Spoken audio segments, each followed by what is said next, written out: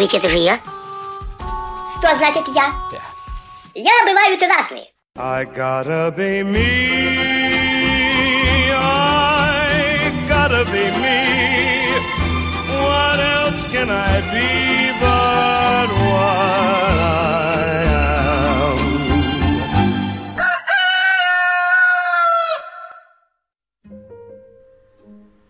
Здравствуйте. Меня зовут Валерий Веряскин. Я веду блог «Будда в городе» и обучаю медитации – который называется «Практика осознанности». Но и также по жизни меня интересует глубокая и осмысленная жизнь в разных ее проявлениях. Меня интересует этот вопрос. Раз уж я здесь оказался, в этом мире, в этой жизни, то как мне ее жить, эту жизнь? Знаете, в известном методе психотерапии работы с собой – называемом процессуальная работа, есть такой термин, как заигрывание. Ну, это когда некая тема почему-то начинает обращать ваше внимание на себя. И вы не знаете почему, но что-то внутри вас откликается на нее. И вам становится интересно, интересно пойти глубже в отношения с ней изучать ее, исследовать, рассматривать со всех сторон. некоторое время назад со мной начала заигрывать фраза «подлинная жизнь». Я понял, что не очень-то понимаю, что это такое вообще. Что такое подлинная жизнь? И что такое подлинный человек? Ведь с одной стороны, любая жизнь подлинна. Человек родился, ну и живет как-то, живет как живет.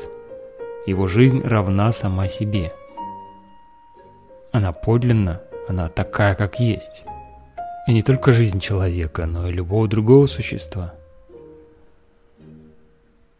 Но с другой стороны, мы люди постоянно что-то сравниваем – и сравнивая, например, разные периоды своей жизни, мы можем сказать, вот в это время я жил как будто полнее, честнее самим собой, как будто бы подлиннее, а в это время нет. И мы также любим говорить о других. Этот человек как будто бы живет своей настоящей жизнью, а вот этот что-то не очень. Но что это все значит? Мы можем это как-то почувствовать, угадать, но можем ли мы яснее это осознать?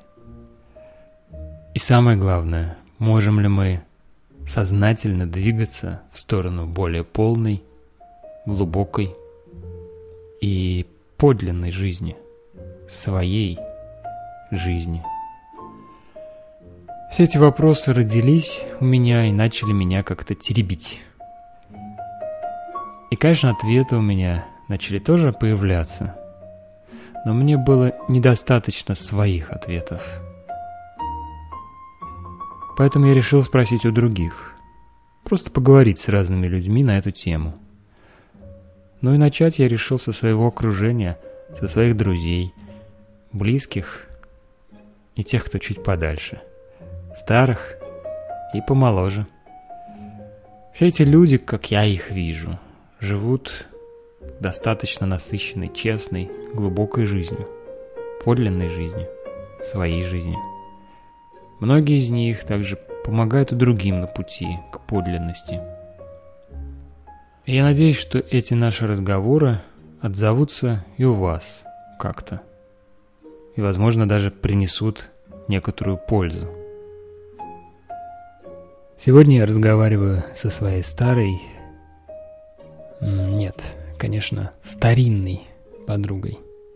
Старая как-то нехорошо звучит. Но зато, когда мы говорим «старинная», это сразу же придает определенную значимость. Какой-нибудь старинный канделябр, к примеру. Вам не подсвечник из Икеи. Ну вот, а моя подруга Она не подсвечник, и не канделябр, и даже не свечка.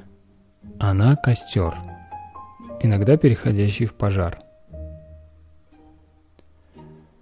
Я в жизни мало встречал людей, горящих настолько ярко, как она. И поразительно, что ведь не сгорает. Где только дрова берет. Но вопрос ее энергоснабжения нас, конечно, не касается. А касается нас ее тепло и свет. Ибо что можно делать у костра? Ну, греться, греться можно. А еще бесконечно смотреть на огонь, и петь песню, и танцевать вокруг него, и вместе с ним.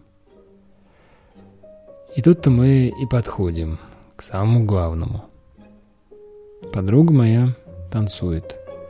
Танцует всю жизнь, танцует как огонь, как вода, как земля, как небо. И как-то она все это в себе умудряется соединять. А еще она мать. Мать контактной импровизации в России, да и вообще на всем постсоветском пространстве, я думаю. И даже если она не родила сама контактную импровизацию, то уж точно выкормила, выходила, выносила на своих руках или в своем подоле и поставила на ноги. И теперь у нас тысячи контактных импровизаторов, но мать одна. Это Анжелика Доней. И у меня с ней, конечно, свои отношения с этой матерью. Кроме того, что мы друзья, кроме того, что я учился у нее контактной импровизации, несколько лет подряд мы делали совместную программу «Майская мистерия». Это был такой лагерь на природе с танцем, медитацией, купанием в ледяных горных реках, долгим взглядом в костер, хождением по углям, шутками, прибаутками. И на протяжении всей нашей дружбы я, как и многие другие, грелся около Анжелики. Питался и заряжался от нее. Ну, потому что такой уж она человек. Человек-костер. И находясь рядом с такими вот людьми, все согреваются неминуемо. Не так уж важно, что они говорят вам. Гораздо важнее, что они излучают своим присутствием. И может быть за этот сегодняшний разговор вы тоже почувствуете вот это излучение. Почувствуйте тепло, искристость, свободу. И захотите танцевать. Танцевать с жизнью. Ну вот, заболтался я, как обычно. Теперь слово Анжелике.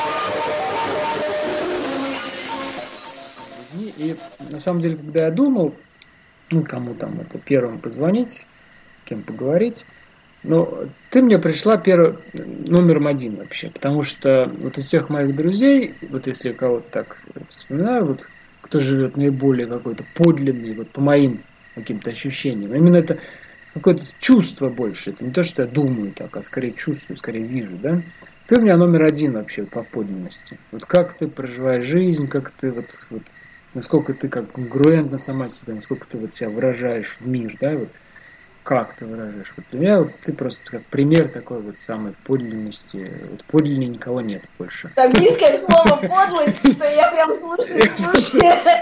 Ну, да, по, ну, скажи аутентичное. это вообще, это близко к, аути, к аутичному. Слушай, слушай, мне интересно, что ты говоришь. Вот, и, ну и, соответственно, вопрос у меня, вопрос у меня такой. Сначала он такой более широкий. Вот у тебя как-то вообще само это, само это выражение подлинной жизни, оно как-то отзывается, оно как-то резонирует? Или какой-то но если не, не сама эта формулировка, то может быть что-то близкое к этому. Да? Вот, вот что ты об этом думаешь вообще? Я хотела сразу, сразу немножко пообсуждать вот слово подлинное, потому что мне стало интересно. Я не размышляла до сих пор э, именно о жизни, поскольку аутентичное движение, которым я, которое я очень люблю, оно означает подлинное. И оно да. означает истинное. Чуть дальше оно да. от слова подлинное. Или дальше уже можно смотреть истинное, искреннее, правдивое, подлинное. То есть в этом смысле подлинное, оно какое-то по словам менее говорящее, чем истинное, потому что там есть слово истина, например. Я стала смотреть на слово подлинное. Под это получается как бы под чем-то, ну для меня. То есть я mm-hmm. думаю, в русском языке это не в случайности такая под. И линная это может быть линия жизни или судьбы, я не знаю, под или, или как-то вхождение вглубь чего-то. То есть для меня это как разворачивание внутрь, или я проверяю, как, как моя фантазия сейчас это все ищет и высматривает. Это, тогда само слово подлинно очень красивое. Когда говорят ты подлинно, это сразу так а, обнаруживает, становится гордо.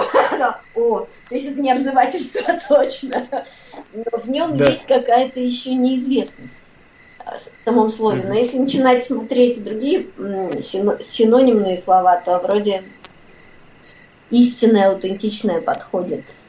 Аутентичное, подлинное. Это прямой перевод. Подлинное, аутентичное. То есть тогда у меня есть мостики, через которые я могу тебя более-менее точно понимать, чего ты спрашиваешь. Угу. То есть ну, отзывается, интересно. Угу, Понимаю. Угу.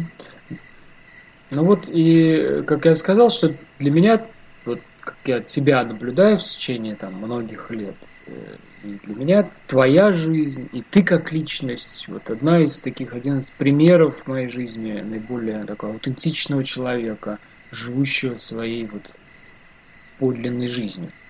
Вот, это у тебя как получается? Это же тот, кто делает так, никогда не знает, как оно получается. Да. Оно получается да. само же. И я думаю, что э, можно рассматривать линию жизни или судьбы, дорожку судьбы, как, как меня не, не перегрузили информацией в детстве, например, любили. Я mm-hmm. точно помню, что меня много обнимали, иначе бы я точно в контактную импровизацию не вписалась так быстро. У меня было ощущение, что я пришла домой, когда увидела, как люди вместе вот так танцуют. То есть похоже, что в моем а, первичном доме, где я родилась или где там были и сложные моменты, они тоже помнятся. Но было очень много тепла какого-то. А, у меня была семья, где были бабушки, и обе бабушки любили ухаживать за людьми по-разному. И одна из них была певица, она все время пела нам и пугала нас всякими оперными ариями она оперная певица была. И она реально собирала семью, она была еще какой-то такой энергетики, которая нам всем нравилась, и мы вокруг нее прям все танцевали и любили, и, наверное, какой-то отпечаток от нее я получила такого гостеприимства, люблю, люблю кормить, люблю двигать это все, вот какое-то празднование мне нравится. Мне кажется, тяга к празднованию, она тяга к подлинному. Ну, как бы там есть подлинность. Mm-hmm. Что-то вот прямо здесь вот пришло уже. Mm-hmm. Ну, а ты, ну вот мы, мы с тобой познакомились, когда, ну, уже в таком достаточно все-таки зрелом возрасте, там, ну, точно за 30 нам обоим было. А, и да, ну вообще вот сначала все-таки такой вопрос. А ты сама как-то, вот, вот я тебя вижу так, со стороны, да? Понятно, что это моя, моя картинка, мое, мое видение тебя. Ну, и не только я так вижу, многие, от многих людей я слышал, там, может быть, в других словах, но вот как тебе говорят так, тебя видят так, да, как такого очень вот как-то объемно выражающего себя в жизни человека, глубоко и адекватно. Вот. И, а, а ты сама так себя видишь, сама чувствуешь так себя, вот свое воплощение в жизни? Хм. Ну, подтверждать, э, когда идет обратная связь от других людей, она похожа на то, что ты говоришь. И это mm-hmm. говорит не обо мне. То есть я сама себе такого говорить не могу. Я не могу сама себя видеть. Я уверена, что mm-hmm. никто не может себя видеть сам, потому что это было бы слишком придуманно и субъективно. Но если говорить несколько слоев информации, одна из них обратная связь, и я слышу, что мне говорят, очень честная. Ну, например, для меня это тоже какая-то...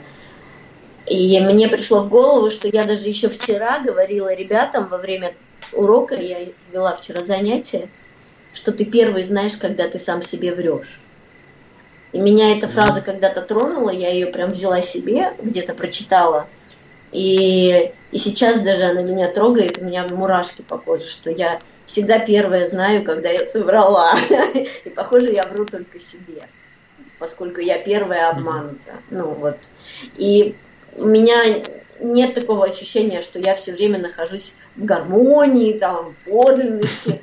У меня есть ощущение, что я, когда я узнаю, что я соврала себе, я ищу путь извиниться, выровняться, обнаружить себя в более удобной обстановке. И моя жизнь mm-hmm. вот так и протекает от, э, от вранья к невранью, от поиска истины, да, через то, что я обнаруживаю вранье, и его становится меньше. А, а как ты узнаешь, вот, что ты врешь? Есть ли какой-то критерий или, или, или критерий? А? Кошки в рот насрали.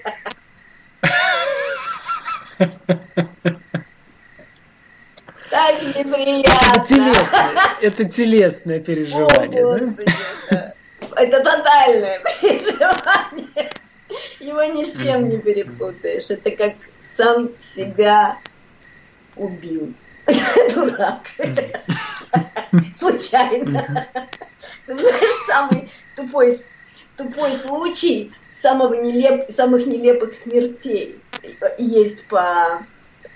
Да, Я, да. Э, в какой-то год самая нелепая смерть была у двух водителей автокаров, которые выглянули одновременно.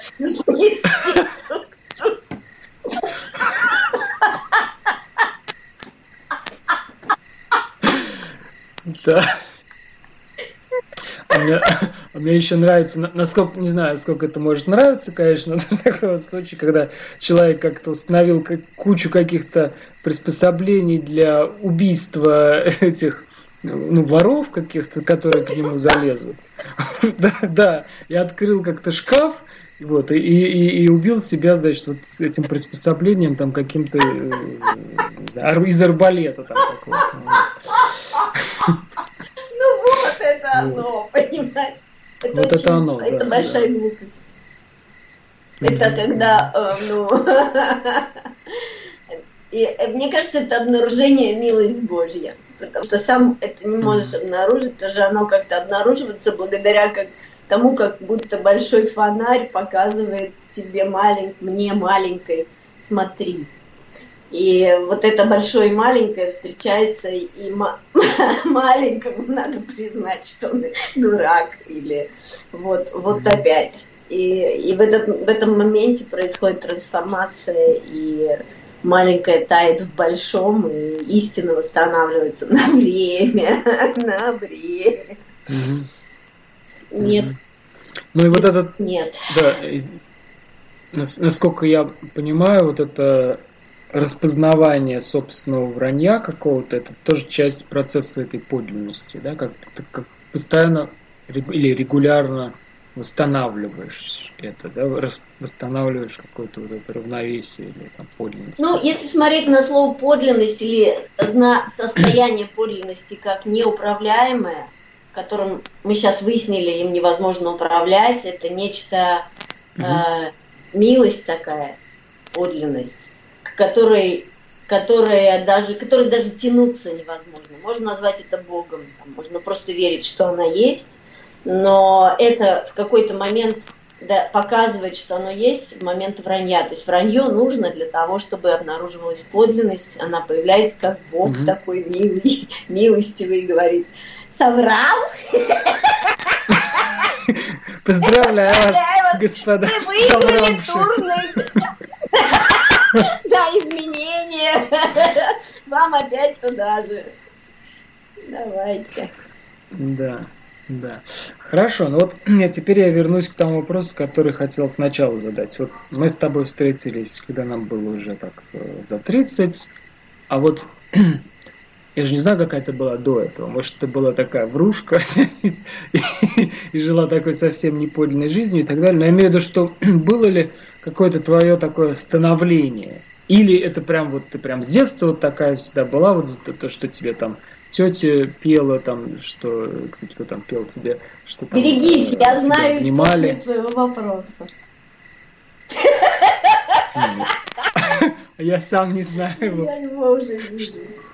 Я скажу так, что тебе это пригодилось тоже. Поскольку я понимаю, зачем ты устроилась в том числе. Mm-hmm. Мне не хочется истории рассказывать, ну, то есть они, э, да. я отказалась от них в какой-то момент вообще как от истории жизни, и для меня сейчас момент, он настолько юн, молод, не имеет времени и ценен, что мне сейчас в истории не, некуда идти.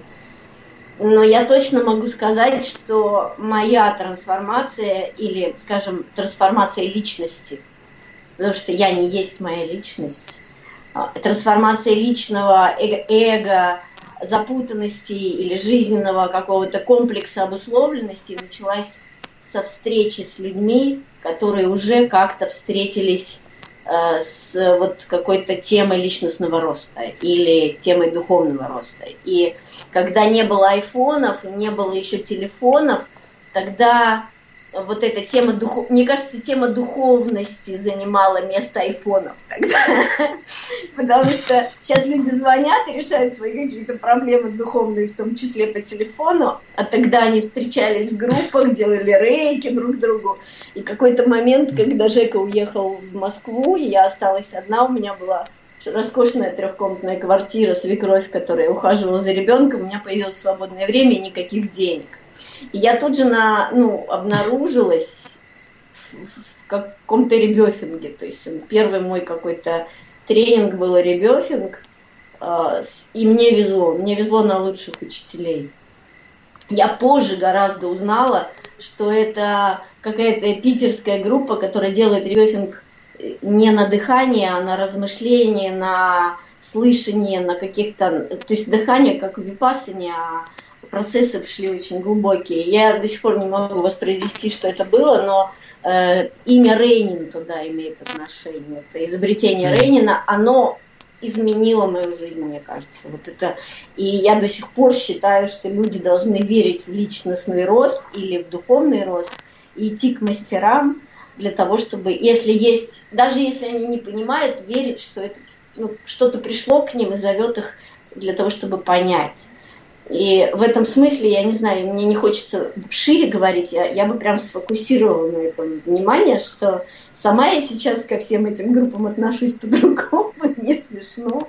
И я бы, конечно, уже ну, очень-очень выбирала степень, это уже для меня как а, идти на американские горки или отдохнуть на, на, на каком, в каком-то месте. То есть Просто на холме.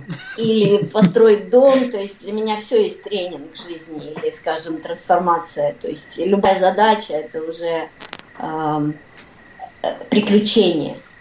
А пока приключения в жизни нет, нужно его искать. И есть источники, которые сначала предлагают демо-версии безопасные и, и профессионально, скажем так а потом можно уже в жизни это применять. Это правда применяется. Это прям бизнес. Это очень хорошо. Бизнес. Э, в том смысле, что один может другому это продать. Потому что мы не можем продать mm. версию жизни, это непродаваемо, но демо-версию, как бы игровую площадку для этого, чтобы на, наработать какие-то качества или убрать какие-то, ну, в смысле, посмотреть на страхи перед реальностью, можно, а потом уже в жизни это все видно. Это к тому, что делай то, что ты делаешь. Э, ты, ты. Я. Я с тобой разговариваю. Кто я? Мирянкин Граске. Кто я? Нет, я. Я не готов. Я не готов. Нет, ну я думал, что это может быть такое, знаешь, послание человечеству. Нет, я разговариваю. Понятно. Нет, человечество у меня тут перед глазами. Но это же будет потом куда-то транслироваться, куда вот. Это же ты будешь делать, Пока. Вот я тут Анжелы Донни переписала. Она сказала, никто не говорил, что, это надо. пятерка. Да. Может, ты мою двойку переписал. Окей, ну а теперь давай перейдем к тебе. Э, что ну вот в твоей жизни еще какое-то огромное, насколько я вижу, значение имеет танец. Да, вот такой вот непосредственный, вот как, как, как не только танец жизни, а как, как, как метафора, как такой вот большой, большой танец жизни, но еще вот этот танец поменьше, который вот танец такой физически телесный, танец с людьми, танец вот Техника. Ну, танец как, техника и, даже. как, угу. как техника, да, и как твое дело, да. Вот он, он как-то, ну, и насколько я так вижу, конечно же, он как-то сильно вплетается в общую картину. Ну, может быть, ты как чуть подробнее расскажешь об этом, как он у тебя вплетается в твою жизнь. Ну, я же больше ничего как не умею. Тебе, может, быть... может, если у меня были бы другие таланты, mm. или, или я была бы готова вложить еще часть жизни в новый талант, который тоже может быть у меня, как рисование там. А, ну, я еще и ленива, и похоже, что вот как я пробудилась в танце, как увидела, что это мне очень нравится, и оно не уходит. И дальше я уже из танцев выбирала те танцы, которые еще мне больше нравятся, пока не дошла до контактной импровизации, и до сих пор она пока в фаворитках бегает. Хотя в Аргентине я попала на аргентинское танго, но не, не танцевать, а слушать. И я услышала настоящий голос, настоящий оркестр, небольшой, интимный, мужчинами, которые вот усами так шевелили во время пения. Я влюбилась в мужчин, в женщин, в танго, и потом вдруг встали какие-то пожилые мужчины, пригласили дам и начали двигаться в кроссовках. И это было такое, они покушали в ресторане, сейчас они танцуют, и в Аргентине это как у нас станцевать там, ну вообще просто что-то такое, станцевать это обычно. Ну, импровизация для нас. И вдруг я поняла, что я влюбляюсь в, это, в этот танец, потому что сам танец – это в само, само и есть влюбление для меня. И я сбежала оттуда в восторге, э, с пониманием, что если я еще чуть надольше останусь или еще раз захочу туда, то начнется мое мытарство по новым техникам, а мне ну, как-то есть такое видение, что на это годы уходит, на это жизнь уходит. Если нашел там один колодец, копай его – вот, наверное, моя судьба это о том, что я рыла все время в одном колодце. Один колодец, пока он не появилась вода, там не расчистилось что-то, и потом не, пока не появилась глубина, но это было все время одно место. Но я верю в таланты, у которых много-много талантов, и которые делают сразу 5-6 колодцев, у них тоже все работает. Просто это мой вариант. У меня вот тоже, у меня, у меня я как раз таки другой вот э, тип да, и мне интересно там ходить везде, в разные миры, заглядывать, да, тут что-то везде нос сувать свой, вот, и, и я эту метафору про колодец тоже о ней думал, и думал, ну как же, вот что же я не рою-то один колодец-то, вот, вот, я же до глубины так не доберусь. А потом я сам себя перехитрил. Ну, в смысле, я так подумал, нет, я это один колодец, но разными инструментами то у меня там, значит, экскаватор какой подгоню, то, значит, там совочком, то зубной щеткой. В общем, вот такую я для себя э, метафору примерил, потому что, ну, то, что я делаю, я делаю одно и то же. Я, вот, как я это чувствую, как я это переживаю. Но вот, по-разному, что ли. Да? Но, опять же, я вижу на твоем примере и на других примерах, то, что действительно это, видимо, как-то разные типы людей, и ну, как, как разная, может быть, судьба, там, по-разному. Мне кажется, Валер, я делаю то же самое, что и ты, потому что, ну, если мы возьмем танец, mm-hmm. то я сначала занималась народными танцами, фольклором, Потом я занимала, училась mm-hmm. в институте. Я обучилась многим видам танцев, включая классический, там на плантах стояла. Потом я из этого всего выбрала то, чему меня не учили в институте. Это способ мышления. Я все время выбираю что-то за пределами того, что я знаю. Это был джазовый mm-hmm. танец, которому нас не учили. Я каким-то образом там где-то какой-то мастер-класс прошла, раз и начала вот это глубоко давать. А потом я увидела исчерпаемость э, джазового танца в моем случае, потому что новая информация, которая попадала, она меня не развивала, мне было неинтересно, а старая мне уже надоела. И тогда я начала э, обнаруживать себя в театре, где можно было просто лепить из движения. И, наверное, вот это вот уже, э, но, но это, это вроде всегда был танец, но если посмотреть на фрагменты жизни, мой интерес mm-hmm. в этом танце э, имел определенный фокус. Я думаю, что этот фокус имеет отношение к тому, как я избрана, что ли. Потому что не я выбираю интерес. Интерес во мне всегда такой был. Я с детства себя помню любопытной к тому, что я не знаю. То есть я, э, как только все знаемое вокруг меня э, обретает э, человеческий смысл, деньги, там, уют и так далее, я меняю страну там, или город, или еще что-нибудь и начинаю с нуля. И для меня это приключение, то есть это меня не, не пугает. То есть как-то мы с Жекой, потому что еще вместе, и в нем есть какая-то тоже такая надежность и видение, которому я доверяю. Я не вижу, как он, но благодаря его видению и будучи рядом, мы абсолютно вместе соединенно э, распускается наша жизнь во все стороны. Я бы так не смогла одна. Это благодаря Жеке и путешествию, и все, но оно все время смотрит за пределы знаемого. Любопытно к пустоте, к неизвестному, к чуду, к волшебству. А волшебство от бабушки, бабушка нам рассказывала уж такие истории в своей жизни, включая видение мертвых, там, которые мимо не уходили. Что там во сне, не во сне, наяву всех видела, и у нее видение было. Ну, такая ведьма была, или ведающая ведьма, там, Баба Яга страшнючая просто. Все видела, все знала, и какие-то вещи наперед мне в жизни предсказала. То есть такая бабуля. Я думаю, что вот она нас очаровала тем, что жизнь не только вот то, что мы видим. Есть какие-то качества, которые пришли от э, рода, из рода, от бабушки. А есть какие-то вещи, которые я просто обнаруживаю, они просто есть.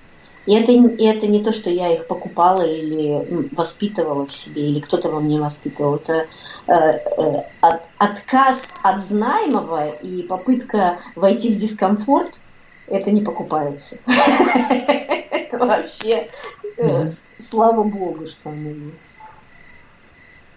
И сейчас у меня есть дом, и мне в нем лучше всех на свете – я мечтаю в следующем году пойти на Алтай в горы, потому что я поняла, что это зона комфорта для меня стала теперь. Раньше дом был дискомфорт, необходимость все время что-то делать и какой-то огромный тренинг. А сейчас, когда он так вот уютно меня обнимает, я уже мечтаю о вызове или о том, что мне нужно посмотреть с какой-то более высокой точки на свою жизнь.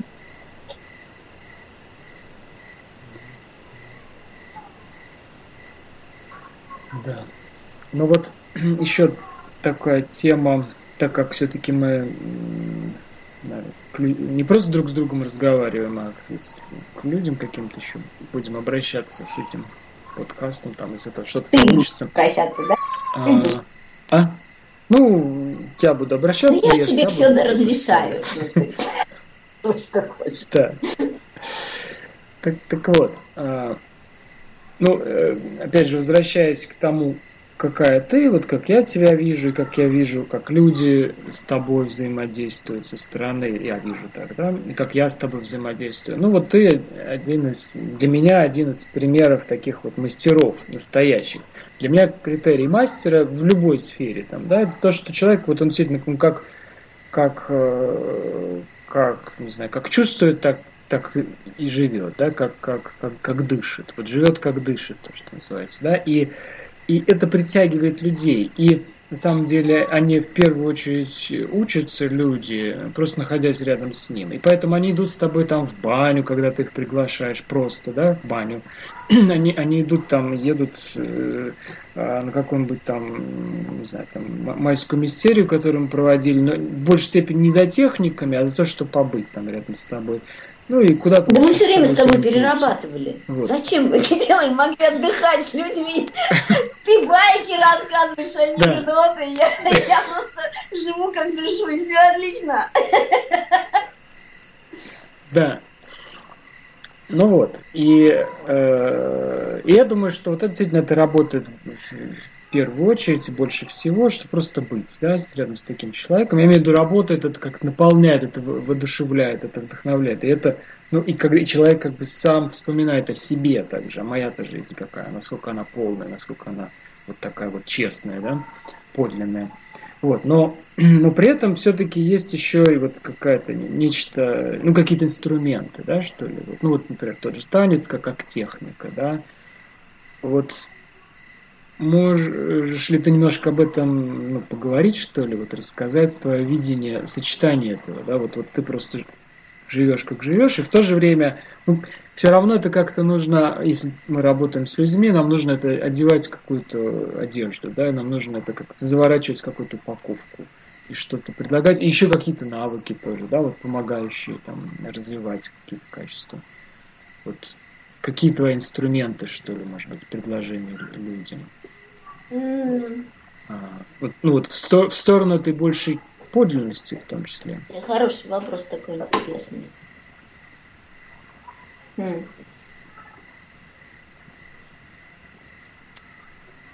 Ну, когда я училась в Питере, и на третьем курсе я хотела, хотела уйти, э, потому что я вдруг э, встретилась с какой-то своей...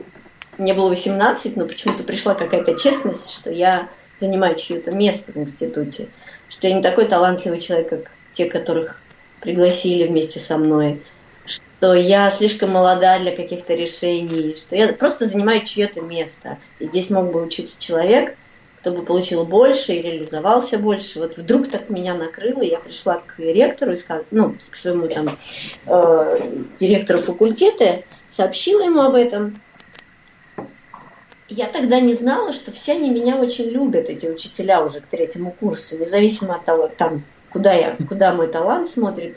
Я тогда, я потом к пят, четвертому курсу увидела, как все учителя со мной возятся и любят, и даже гуляют по городу со мной с удовольствием. Но это уже как бы другая история. Но в тот момент мне сказали, Анжела, ты, может быть, не станешь хореографом, ну, балетмейстером, который придумывает большие балеты или там возможно, мы не видим этот твой талант сейчас тоже, но ты точно очень хороший репетитор. И они как бы поставили мне то очень какую-то оценку очень хорошую и дали печать. Сказали, ну, как гарантировали, что ты можешь учиться дальше, потому что репетитор ты отличный, ты можешь репетировать в любом коллективе, и коллектив будет доволен, то есть доверяй. Вот здесь вот. Я пошла дальше учиться, то есть как-то меня убедили, и дальше больше меня эти мысли не посещали. И действительно, первые годы в своей жизни я училась у других профессионалов. И мне опять везло, и у меня были очень плохие профессионалы, то есть профессионалы, но плохие, которые, например, очень сильно кричали на детей, делали простую хореографию, которая ничего не стоила. Но у них все работало, у них коллектив был там 100 человек, у кого-то 20, талантливый человек, и дети не приходят, и родители не платят, а у, у этого человека было все в порядке с бизнесом, дети прыгали на том месте какую-то хрень, и у него все получалось, она в них орала, а моя психика была истерта окончательно. Но это был очень хороший урок, как, что такое профессионализм вообще, и от чего это зависит. А потом мне очень повезло быть просто рядом с талантливым хореографом, и я училась у него ставить, репетируя его э, хореографию. А потом меня начали приглашать уже как специалиста с его подачи, потому что он мне начал отдавать свои места. И там, где приходилось вставать на свои ноги, это всегда такой вызов, а что я могу, и сначала делаешь, ну, как художник, который учится, сначала повторяешь то, что чему научился, а потом я вдруг увидела, как просыпается собственное видение, и интерес, и любовь к этому как бы открывалась. Но, э, но я действительно очень хороший репетитор, и когда я встретилась с контактной импровизацией, мои репетиторские данные мне больше никогда не понадобились. В том смысле, в котором это нужно в каких-то коллективах, когда нужно дрессировать людей. И отказ от дрессировки стал антидрессировкой, которая мне тоже удается. Что я прошла, наверное, очень крутой способ э, надавливать на людей до такой степени, чтобы они делали сложные вещи все одновременно. И теперь я расслабляю людей до такой степени, чтобы они вышли из матрицы и никогда ни с кем одновременно не прыгали больше. То есть это я просто сейчас, благодаря твоему вопросу, рассматриваю это с интересом, потому что я сама так не размышляла о себе. Но любопытно, что это вот сейчас пришло как ответ такой. Я не знаю, ответила или нет еще. Ну да, да. На самом деле, как, как, как ну, это же твой ответ, да. Не знаю. Профессионализм Окей. это. Ну, в принципе, это, безусловно, обучаться чему-то у кого-то, и желательно у лучших. И если есть хоть какой-то талант или способности, они обязательно прорастут и покажут себя. И дальше, дальше жизнь ведет, она не обманет. Даже если появляется новый вид танца, все равно качество репетитора, они же никуда не делись. И вот этот профессионализм, и учителя за моей спиной разные – и классические, и уже контактные, они все тут. Это не я.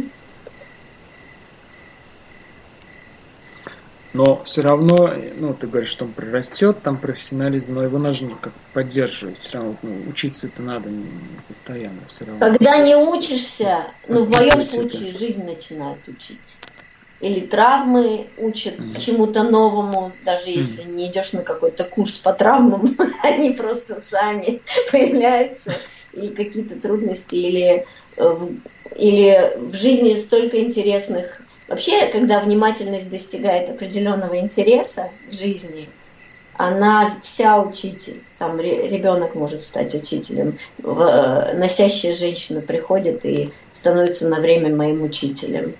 То есть там, где я не успеваю учиться у кого-то. Но ты прав, я сейчас через год я уже записалась на курс, э, на годовалый курс, который я сама и создала с человеком, у которого я хочу учиться. То есть я этого человека обнаружила, я почувствовала, что это может быть мой учитель. И я спросила ее, может ли она учить у нас в России и интересно ли ей, чтобы я была в группе, то есть мне это важно было.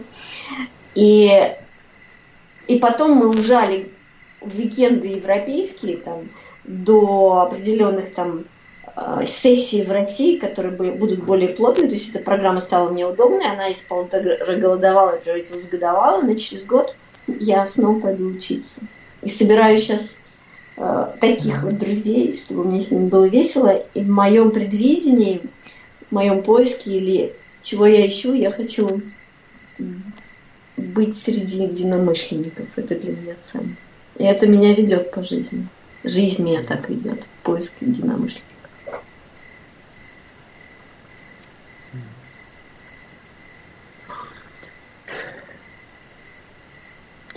Ну что, я думаю, что сейчас можно такую официальную часть закруглить. Я думаю, что, может быть, потом еще про продолжить как, как когда-то на эту тему. Просто... Хорошо, что у тебя это возникло, потому что у меня ничего не возникает к тебе. Вот мы разговариваем с тобой молча. Да, такой. Не,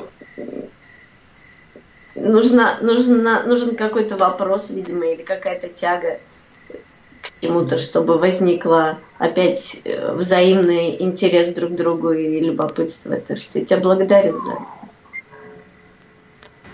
это. Тебе спасибо.